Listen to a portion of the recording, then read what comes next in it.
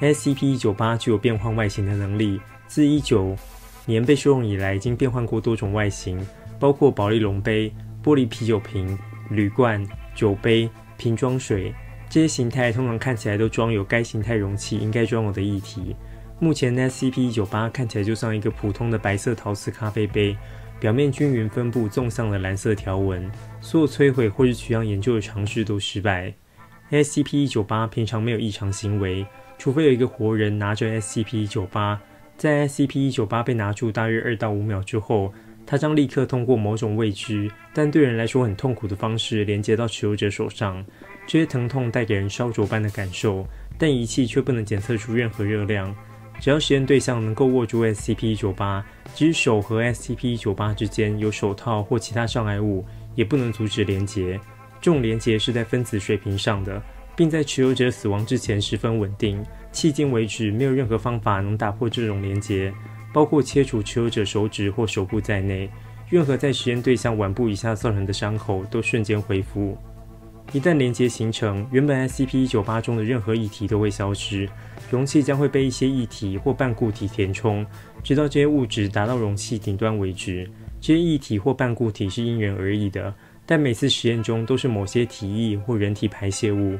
这些物质包括人类唾液、汗液、血液、胆汁、尿液、粪便、粘液，以及两种以上这些物质的混合物。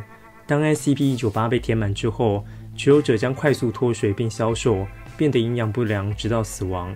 实验对象获得营养的唯一方式是服用 SCP-198 的内容物，但是脱水和消瘦的速度不会改变，迫使实验对象需要通过几乎是持续不断的服用大量内容物来保持生存。在内容物被服用或是倒出容器后，SCP-198 将自动装满。实验对象曾通过服用排泄物的方式坚持了七十小时。直到因疲惫而屈服，或是拒绝服用杯子的内容物为止，这将导致死亡。当持有者死去后，与 SCP-198 的连接将被切断。在大约百分之七十五的实验当中，SCP-198 将在连接切断时立刻消失，并几乎同时在一个邻近的平面上再次出现，转换成一个新的形态。SCP-198 大约有百分之九十的几率再次出现在已死的持有者附近。但它有几次被观察到出现在另一间附近的收容间内、观察室内，以及有一次，考虑到这种情况的灾难性后果，当处于 SCP-198 的收容室或实验室附近时，需要万分小心。强烈建议基金会人员不要把饮料或容器带到 SCP-198 收容室的一百公尺范围内。SCP-738 是一套桃花心木家具，分成三个部分：一张桌子。被称为 SCP-738 之一，一把高背椅被称为 SCP-738 之二，一个华丽的王座风格办公椅被称为 SCP-738 之三，都配有黄铜装饰品和皇家紫天鹅绒衬垫。SCP-738 具有防御伤害的能力，爆破、燃烧、枪击、伐木机都没有效果，直接用斧头砍桌子造成了一道三公分深的伤痕，并且造成其攻击者的死亡。伤痕以每天一微米的速度恢复。当高背椅放在桌前，办公椅放在桌后，且有一个人坐在高背椅上时，会导致异常现象的发生。坐在椅上的人会看到办公椅上坐着一个实体，这个实体只有坐在高背椅上才能看到。每次测试中对这个实体的描述都不相同，对于它的描述常常包括有吸引力的或魅惑的。由同一个人在短时间内进行多次试验时，每次看见的实体都很相似，或者有可以辨识的相同身份特征。在短时间内由不同人进行的实验，实体会有完全不同的外貌。曾看过穿着红金色商务装的男性、美丽妖媚的女子、巨大的粉红色兔子、巨蛇等。他会开出条件，以各种承诺试图诱惑坐在高背椅上的人。如果这时坐在椅上的人提出请求，诱惑和承诺声音都会停止。一阵沉默后，他会提出他要求的代价，可以跟他讨价还价，但他会坚持要求其他等价的代价。偶尔提出要求后，他会宣称请求者没有很想要这东西，或明显是为了别人要这东西，以此避开全额的代价。这种情况下，要求不会被满足。这通常发生在提出的要求可以影响别人。或者可以转让所有权的时候，他会在人皮纸上写下交易的内容，接受交易会使协商好的愿望按照书面履行。测试对象描述这些代价都会对他们造成一定的心理或生理上的痛苦，痛苦的程度跟对要求的东西的渴望程度相当。SCP-738 是在书记主教死于后，在他的办公室回收。他从教皇处收到了 SCP-738，作为表彰他在梵蒂冈档案馆的敬业服务的礼物。在之后，基金会注意到 SCP-738 的存在，并在死后得到了 SCP-738。SCP-1162 目前是一个在赛三十一的收容隔间四的煤渣砖墙上的一个洞，直径约为十四点五公分，深度根据使用者的不同会有所变化。洞内总是黑暗的，任何光都无法照亮洞内的任何部分。SCP-162 会在一个有感知的生命将手尽可能的深入洞中时启动。他们会在洞中发现一个小到能穿过洞的物体，这些物体是被使用者认为自己丢掉的东西，或是他们曾找寻过的某个东西。然而，一旦接触到物品，使用者所拥有的另一个东西会消失。另外，任何放入 SCP-1162 的物品会在没有人接触时马上消失。如果 SCP-1162 在168小时内没有被使用，它会随机转移到另一面石头、混凝土、砖砌墙面或地板上，移动范围半径目前都没有超过两千公里。之前的洞会留下，不过不再具有异常特性。尝试摧毁 SCP-1162 或从后面观察会导致它马上转移。几个 SCP-1162 的测试记录包括：测试者特工 K。回收物品：一个标准 M 一九一一 A 一弹夹，空的。损失物品：钱包，但是钱包内的东西没有丢失。笔记：哦，我喜欢那个钱包，至少他把钱给我留下了。测试者 D 四零一零，备注：D 四零一零只穿着一件标准低级制服，没有鞋、袜子或珠宝，并在测试中没有携带任何其他物品。回收物品：一瓶半满的野火鸡牌波本威士忌。损失物品：一件基金会低级人员制服。笔记：意料之中。测试者 D 四零一零。备注：测试者赤身裸体，并没有携带任何东西。回收物品：D 四零一零的一九八七年驾照。损失物品：测试者在从 SCP 一一六二抽出手后，抱怨有强烈腹痛，随后倒下。发现他的左肾消失，而所有连接到肾的血管都被切断。笔记：进一步测试时，测试者必须穿着衣物，并至少手持一件物品。测试者：军事 Hendrix。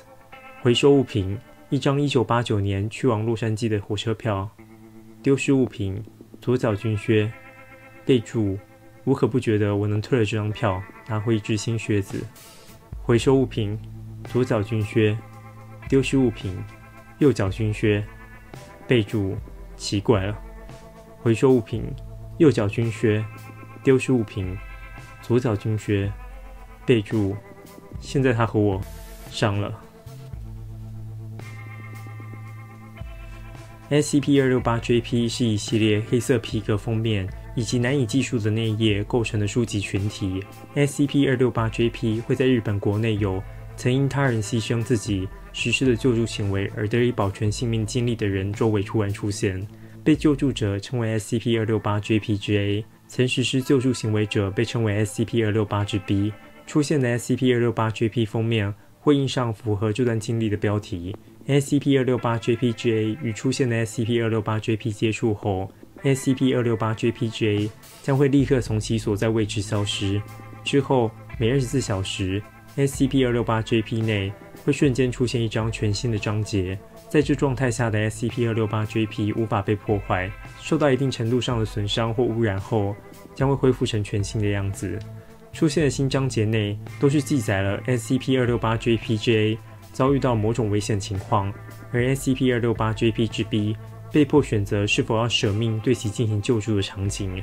从文章描述可以看出，此时登场的 SCP-268-JPGA。仍具有消失时的样貌和记忆，而 SCP-268-JPGB 则是具有死亡时的相貌与记忆，并同时具有健康的身体状态。一旦 SCP-268-JPGB 选择实施救助行动，SCP-268-JPGA 必定能生存下来；然而 SCP-268-JPGB 则必定死亡，章节最后会以对 SCP-268-JP-GB 以及其舍己为人的行为的赞赏作为结尾。下一章则将以不同的情况迫使 SCP-268-JP-GB 再次做出选择。全书内容以此模式不断进行回圈，同时从文章中的言行可以看出，仅有 SCP-268-JP-GB 具有在之前章节内的全部记忆。在文章中虽然也会出现远景、医生、观众等人物，但是这些人物只会不断重复特定的言行。文章中常出现 SCP-268-JPGA 与 SCP-268-JPGB 尝试跟这些人物交流但失败的场景。自 SCP-268-JPGA 消失起一段时间后，在 SCP-268-JP 的周围会出现 SCP-268-JPGA 的尸体。此时，SCP-268-JP 中新出现的章节会以最终章为标题，记录 SCP-268-JPGB 因为放弃救助行为而导致 SCP-268-JPGA 以与尸体表现出的外观相同方式死亡，且 SCP-268-JPGB 在之后如同雾气一般消失并宣告完结。同时，SCP-268-JP 的标题。会转变为侮辱 SCP-268-JPGB 的一注文字。此后，这个 SCP-268-JP 个体将失去所有异常性质。部分基金会持有的 SCP-268-JP 包括 SCP-268-JP17、SCP-268-JPGA。二十六岁女性，在消失的两年前为治疗肝癌而接受了 SCP-268-JPGB 的肝脏移植。SCP-268-JPGB，享年三十二岁。男性 SCP-268-JPGA 的亲生哥哥，在肝脏移植手术后因并发症死亡。初始标题：拯救了因病魔而痛苦的妹妹心地山良哥哥的英雄谈。最终标题：对仅有的亲人见死不救的卑鄙小人的故事。内容共计九十六章。SCP-268-JPGA 在最终章因遭遇大型车辆的撞击而死于内脏破裂。SCP-268-JP42、SCP-268-JPGA，十一岁男性，SCP-268-JPGB 的儿子；SCP-268-JPGB，享年二十九岁，女性，在生产 SCP-268-JPGA 时，因胎盘剥离症状而被迫在自己与孩子之间做出选择之时，依然坚持继续生产，导致最终死亡。初始标题：拯救了尚未蒙面的亲生之子。满怀慈爱母亲的英雄谈，最终标题：生于无情贱人家里的，在哭喊中被燃烧殆尽的少年的悲剧。内容共计一百二十七章。SCP-268-JPGA 在最终章因被困在起火的房屋中死亡。